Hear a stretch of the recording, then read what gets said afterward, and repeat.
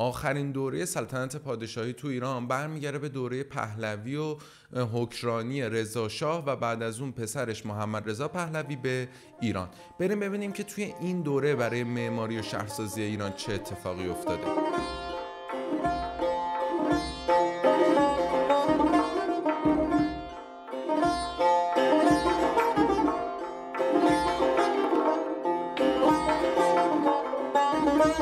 سلام امیدوارم که حالتون خوب باشه. من بزرگمنم از گروه استودیوی تایملس روم. توی این قسمت می‌خوایم در مورد معماری و شهرسازی دوره پهلوی صحبت بکنیم. البته در مورد بخشی از دوره اول پهلوی که رضا شاه به ایران حکمرانی می‌کرده. حالا تو قسمت های آینده توی هفته آینده در مورد ادامه روند معماری شهرسازی توی این دوره بیشتر هم صحبت می‌کنیم اگه می‌خواین در رابطه با اوضاع سیاسی اجتماعی اقتصادی این دوران هم اطلاعاتی رو کسب بکنیم ما توی اون یکی کانالمون یعنی روم داد استودیو یه سری محتوا تولید کردیم یعنی ارشیا تولید کرده می‌تونین اونا رو هم ببینین که یک اطلاعات جامعتری در مورد این دوره داشته باشیم. قبل از اینکه بریم سراغ ویدئو و در مورد معماری این دوره با هم دیگه صحبت بکنیم خوشحال میشم که کانالمون رو ساب کنین و زنگوله بغلش رو هم بزنین که اگه ویدیو منتشر شد سریع متوجه بشید اسپانسر ویدیومون دفتر طراحی و ساخت بهفره که لینک اینستاگرامشون هم توی description هم توی ویدیو هست. می‌تونید از طریق دایرکت اینستاگرام باشون در ارتباط باشید بریم سراغ ویدئو. رضا شاه پهلوی پادشاه ایران از سال 1304 تا 1320 خورشیدی و بنیانگذار سلسله پهلوی بود که با یک کودتای نظامی در سال 1299 و تشکیل مجلس مؤسسان در آبان 1304 خورشیدی رسما به عنوان شاه ایران معرفی شد. اتفاقاتی مثل مدرنیزاسیون شهرها ایجاد ساختمانهای جدید با عملکردهای تازه احداث راه استفاده از معمارای غیر ایرانی کشورهای دیگه تأسیس دانشگاه تهران و دانشکده هنرهای زیبا اعزام دانشجوها جهت تحصیل به کشورهای خارجی و همینطور استفاده از تکنولوژی و مصالح جدید. در آثار معماری از جمله رویدادهای مهم دوره پهلوی اول در جهت گسترش معماری و شهرسازی ایران بود. همچنین سیاست های کلان دوره رضاشاهی رو می‌تونیم در سه بخش اسلام زدایی، غربگرایی و یک ناسیونالیسم نوین خلاصه کنیم. در مجموع سازندگی زیادی در دوره رضاشاه اتفاق افتاد. که البته مخالفا و موافقای زیادی هم داشته. مثلا در مورد موضوع احداث راه آهن در کنار موافقان زیادی که این طرح داشت بعضیا هم چه از نظر انتخاب مسیر راه آهن و چه در کل خود احداث راه آهن منتقد این طرح بودن اگه اطلاعات بیشتری در مورد این موضوع می‌خواید بازم پیشنهادم اینه که به اون یکی کانالمون سر بزنید. ارشیا توی ویدیوها در مورد این وقایع اطلاعات بیشتری بهتون داده. ما اینجا صرفا می‌خوایم در مورد معماری و شهرسازی این دوره صحبت بکنیم و البته معمارای دوره پهلوی رو بیشتر و بهتر بشناسیم. الان هم سریع بریم سراغ بررسی دونه به دونه این بناها و اونا رو با همدیگه بررسی کنیم و ببینیم که اصلا چه چیزایی ساخته شده و چه اتفاقاتی توی این دوره افتاده.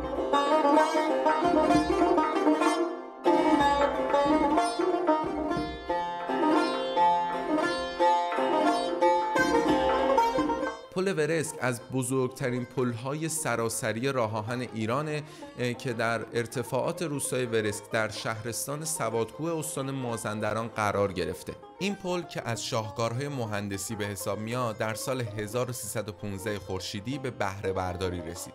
پل ورسک که راه آهن سراسری تهران شمال رو به هم متصل می‌کنه در ارتفاع 110 متری از انتهای دره و با وسایلی ابتدایی ساخته شد. پل ورس در شمار مهمترین آثار فنی مهندسی راه شمال ایران محسوب میشه که در مهر ماه 1356 خورشیدی با شماره 1534 ثبت آثار ملی شده. ورسک از جمله پل‌های استراتژیک ایرانه که توسط شرکت دانمارکی کمپ ساکس و با تضمین 70 ساله احداث شد. این پل در دوران جنگ جهانی دوم توسط چرچیل نخست وزیر وقت انگلیس پل پیروزی لقب گرفت.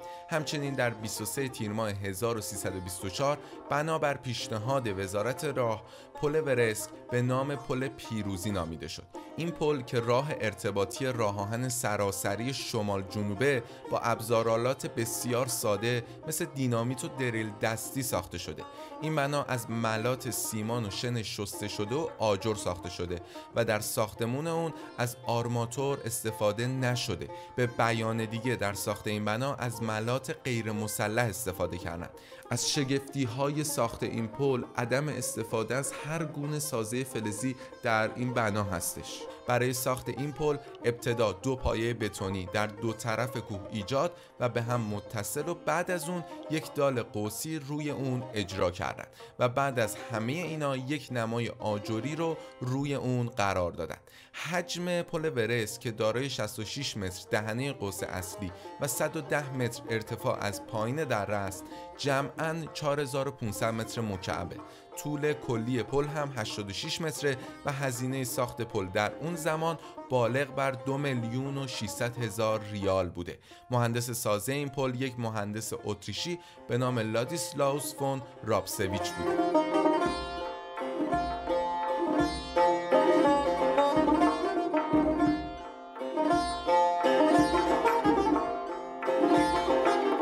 سردر باغ ملی از بناهای دوره قاجاره که البته توی اوایل دوران پهلوی بین سال 1301 تا 1304 توسط جعفرخان کاشانی نوسازی شد و به یکی از نمادهای شهر تهران هم تبدیل شد. این بنا در زل شمالی خیابان امام خمینی یا همون سپه سابق در زل شرقی وزارت امور خارجه و در زل غربی موزه پست و تلگراف قرار داره. قبل از احداث برج آزادی این دروازه به عنوان نماد شهر تهران شناخته می‌شد. این بنا با آمیزه از سبک معماری ایرانی اروپایی به ویژه در کاشیکاری ها و کلافرنگی طراحی شده. پی این بنا و پایه و شال ستونهای هشگانه اون و ساق ستونها همگی آجوری هستند. در کاشیکاری های بخش های بالایی از طرحها و تصاویر اسلیمی، مسلسل، میدان جنگ، شستیر، رضا شاه با تفنگ 60 تیر دو فرشته پیروزی پرچم سرنگ ایران گلوله توپ پلنگ، سروده ها و آیه های قرآنی و نام های امامان به صورت کتیبه زیر کلاهفرنگی نوشته شده. بر روی کتیبه نمای بیرونی هم سروده های از ندیم الملک دیده میشه و کاشیکاری های این بنا با نقش دو شیر که تاجی رو گرفتن پلنگ، شیر و خورشید و مسلسل طراحی شده. سردر یک دروازه سواره رو و دو در برای گذر پیاده در دو طرف خودش داره. جنس این درها چودنی هستند که در قورخانه تهران به دست استاد محمد علی کرمانی ساخته شده. در بخش بالای این بنا هم جایگاه دیدبانی، نقارزنی و گذر نیروهای نظامی طراحی شده. همچنین در کاشیکاری های این بنا عناصری برای یادبود کودتای سوم اسفند و فتح تهران به دست رضاخان هم وجود داره که از بینشون میشه تخریب برج و بارو با گلوله های توپ رضاشاه در حال تیراندازی و دو فرشته پیروزی رو مشاهده کرد.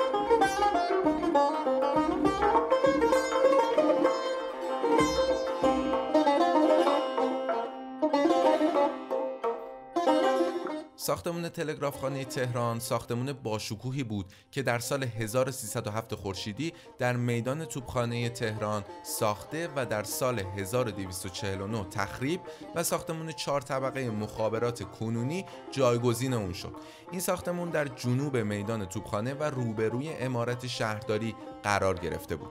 البته این بنا در سال 1305 ساخته شد. اما در سال 1307 یعنی دو سال بعد بخش غربی اون توسط معمار مهندس میرزا علی خان به اداره تلگراف تبدیل شد. مراحل پایانی کار گنبدسازی و کارهای فلزی اون در سال 1310 انجام شد. این بنا در طبقه بندی بناهای اوایل دوره پهلوی اول قرار می‌گیره. از ویژگی های این بنا اینه که مثل بناهای دوره قاجاریه در طراحی اون از عناصر معماری اروپایی اقتباس شده.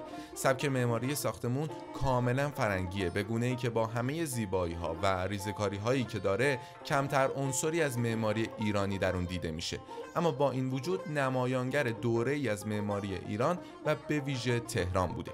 این بنا در سه طبقه ساخته شده و دارای طولی نزدیک به 150 50 متر بوده. ساختمون تلگراف خونه دارای ورودی ستوندار با گنبد فلزی بزرگ بر روی قاعده مربع در میانه بنا بوده که به دست استاد میرزا علی خان مهندس ساخته شده. اما سرانجام این امارت قبل از سال 1349 به دلایل ناروشنی ویرون شد. همونطور که قبلتر گفتم یکی از اتفاقات مهمی که توی این دوره میفته استفاده از معمارهای خارجی و غیر ایرانی داخل ایرانه. البته معمارای بزرگ ایرانی هم توی همین دوره اول پهلوی در زمان رضاشاه فعالیت های زیادی کردن.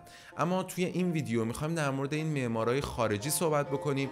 اول از همه هم میریم سراغ آندره گودار که یکی از معروف ترین معمارای خارجی اون زمان ایران بود.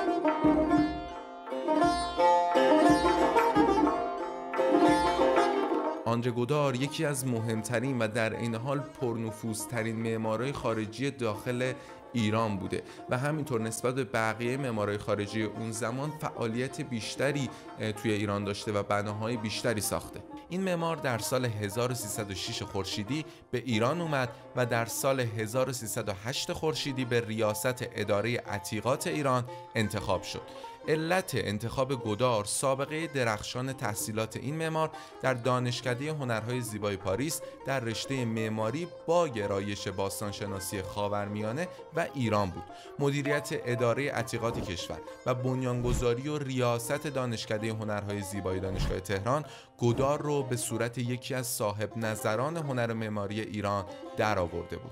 از مهمترین کارهای اجرا شده گودار میشه به موزه ایران باستان، کلافرنگی حافظیه در شیراز، کتابخونه ملی ایران و مدرسه ایران شهر در یزد اشاره کرد.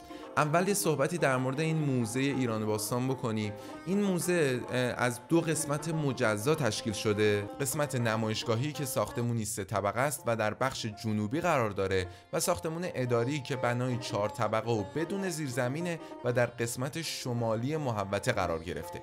طرح موزه ایران باستان بسیار ساده و مجزاست و تو نگاه اول میشه مکعب مستطیلی رو دید که تنها فضای جالب اون نمای اصلی این مکعب مستطیله که با اقتباس از تاق کسرا در مدائن ساخته شده. همین امروز هم می‌تونید از موزه ایران باستان دیدن کنید و از نزدیک این بنا و آثار داخلشون رو ببینید. در بنای معروف بعدی گدار هم یعنی آرامگاه حافظ همسو با موزه ایران باستان میشه حس باستانگرایی رو در طراحی حافظیه شیراز مشاهده کرد.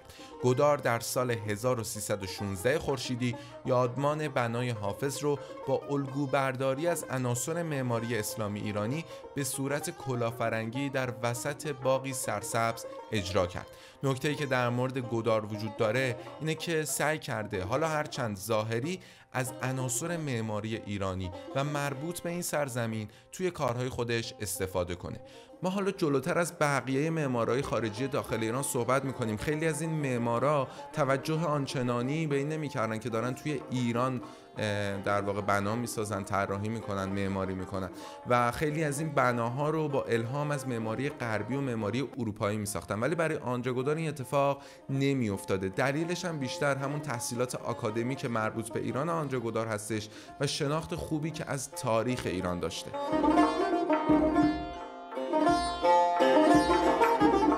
نیکولای مارکوف متولد تفلیس گرجستان بود و در سال 1910 میلادی از دانشگاه سن پترزبورگ در رشته نقاشی و معماری فارغ و تحصیل میشه. این معمار در سال 1917 میلادی آجودان فرماندهی بریگاد قزاق بود.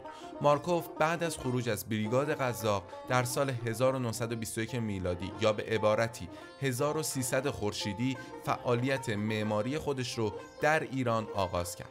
از مهمترین آثار مارکوف میشه به مواردی از این دست اشاره کرد دبیرستان البرز، دبیرستان انوشیروان دادگر، ساختمون اداره پست، ورزشگاه امجدیه که البته این ورزشگاه رو با کمک معمار فرانسوی رولان مارسل دوبرول ساخته، زندان قصر، امارت بلدیه در میدون توپخونه، سفارت ایتالیا و کلی بنای کوچیک و بزرگ دیگه اشاره کرد.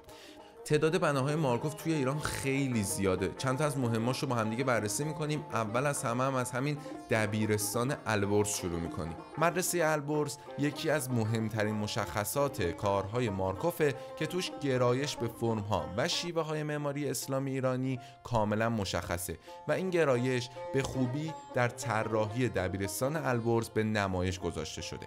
حجم کشیده متقارن مدرسه و ورودی اون یادآور بناهای اسلامیه همینطور سردر و دو برج اطراف اون یادآور قلعه های ابنیه اسلامی.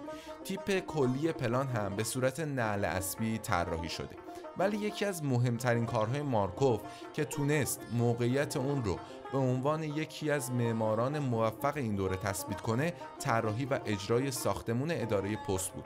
سبک معماری ساختمون اداره پست التقاطی از معماری باستانی ایران عمدتا موتیف های تخت جمشید به خصوص در ستون های چارگوش بیرونی بنا در زل جنوبی ساختمون و البته معماری اسلامی با تاقنماهای گنبدی شکل آجوری دور تا دور حیات مرکزی در طبقه دوم بنا هستش که قرابتی خاص با موتیف ها و عناصر معماری صفوی داره. از این جهت ساختمون اداره پست از مهمترین و جذابترین پروژه های مارکوف در ایرانه. از پروژه های دیگه این معمار میشه به زندان قصر اشاره کرد. همسو با ساختمون زندان قصر میشه از ساختمون های سینگر و سفارت ایتالیا هم یاد کرد که سبک ساختمون های مذکور شباهت خاصی به معماری کلاسیک اروپا و سبک پالادیو داره. این تفاوت که در این پروژه ها برای اولین بار در ایران از پنجره هایی با شیشه های یک سره بزرگ استفاده شده. اما حالا بعد از بررسی کلی بناهایی که مارکوف ساخته می‌تونیم به یه سری از عناصر مشترک برسیم که از مهمترینای اونا میشه به این موارد اشاره کرد. تاکید بر روی سردر ورودی، مقرنسکاری در فضای داخلی و سردرهای ورودی، وجود ستون و سرستون روی نما، قرفه سازی های کوچک در دو طرف ورودی و گره سازی در و پنجره ها و به خصوص پنجره های مشبکی که با قوس های جناقی تلفیق شدن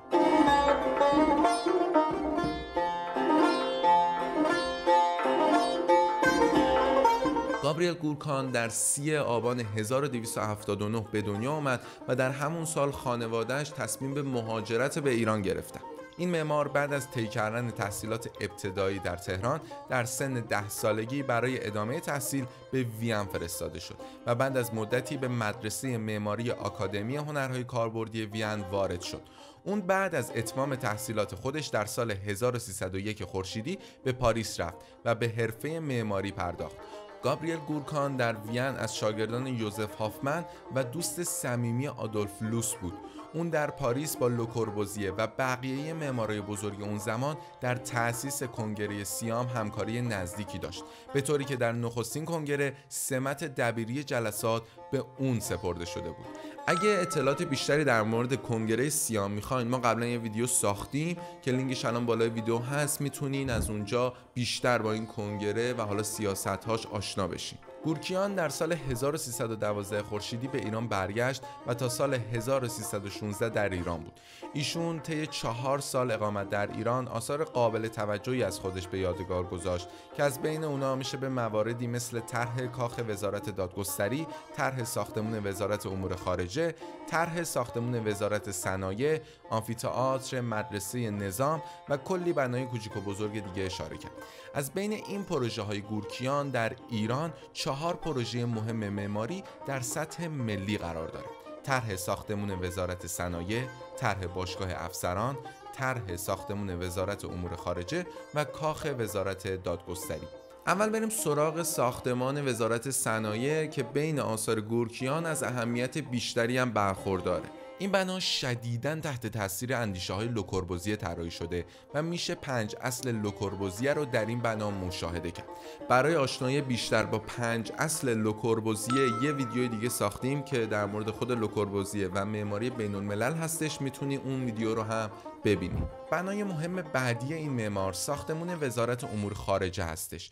اون چیزی که از طرح پیشنهادی گورکیان برای ساخت وزارت امور خارجه میشه برداشت کرد اینه که طرح اون یک بنای متقارن با یک جزء میانی و دو جزء کناریه.